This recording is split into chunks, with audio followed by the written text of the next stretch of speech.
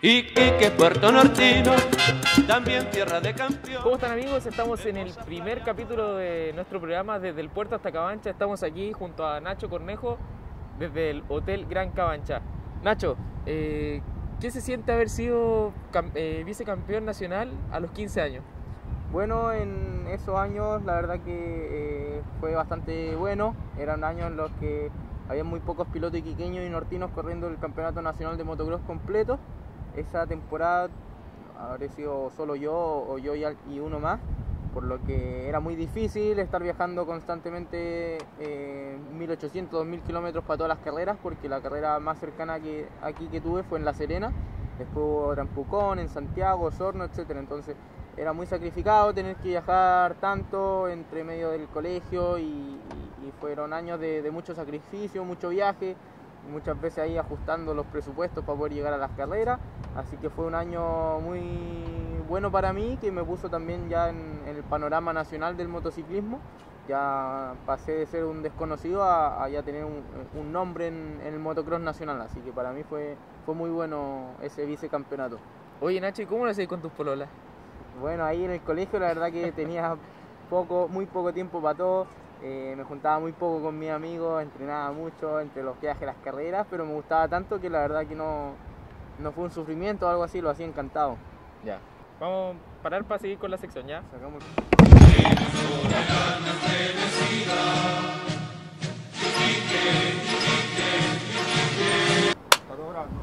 Bueno, seguimos con nuestra siguiente sección que se llama Cuestionario Iquiqueño.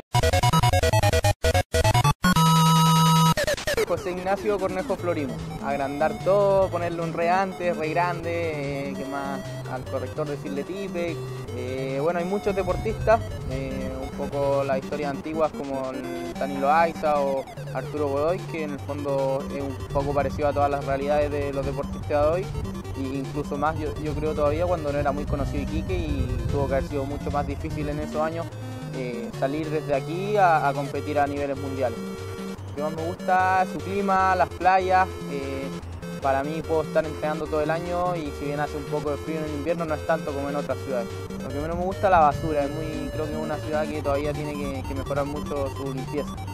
Comida típica, bueno, los chumbeques me gustan mucho, también la, la calapurca, la sopita esa es muy rica, así que esa me gusta también.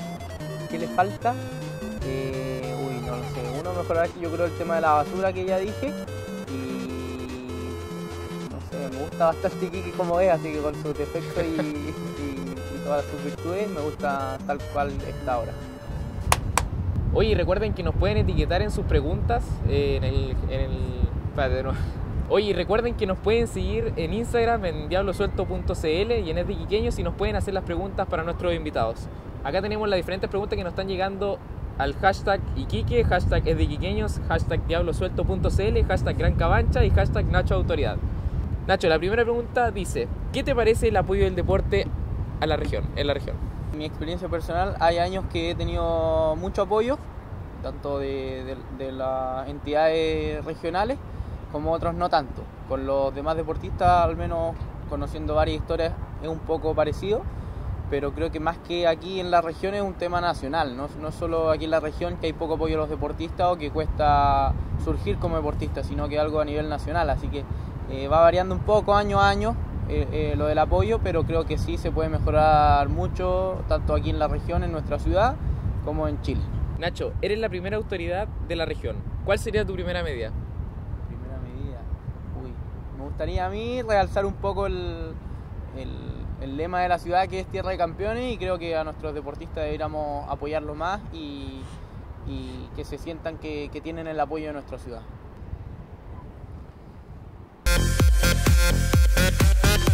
Continuamos con Nacho y vamos a la siguiente sección que se llama Iquiqueño Neto. ¿Duermes siesta? A veces. ¿Te gusta la hora pesquera? Eh, un poquito. ¿Chumbeque o melcocha? Chumbeque.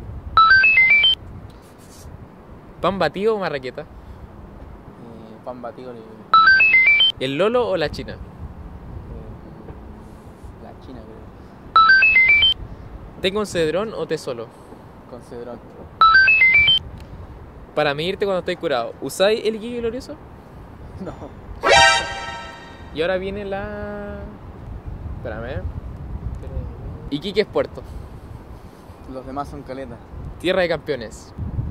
Me viene un poco de orgullo con, con esa con ese- esas palabras. Iquique glorioso. Lo usan gente afuera de Iquique cuando están curados. Podría dar un mensaje, yo creo. Nada más que dar las gracias a quienes me apoyan en, en mis competencias, me mandan mensajes de apoyo a mi familia y toda la gente que me ha apoyado a lo largo de mi carrera. Así que un abrazo a todos. Bueno amigos, así finalizamos el primer capítulo desde el puerto hasta Cabancha, este programa que estamos haciendo en el piso 21 del Hotel Gran Cabancha. Agradecerle a todos nuestros auspiciadores y a los que hacen posible que sigamos continuando con este programa. Hermosas playas doradas, bellas mujeres, tierra de amores, desperto de su letargo. Con el afán de victoria, y ahora rumbea para arriba, rumbea para arriba con José Soria, y ahora rumbea